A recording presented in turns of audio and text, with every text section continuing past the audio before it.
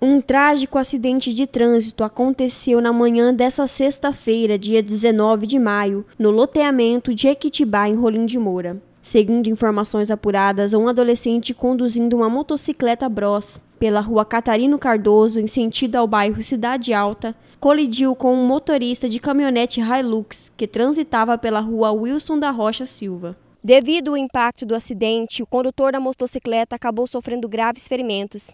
Ele foi socorrido pelo Corpo de Bombeiros e levado até a UPA, onde, apesar dos grandes esforços da equipe médica, acabou não resistindo e, lamentavelmente, vindo a óbito.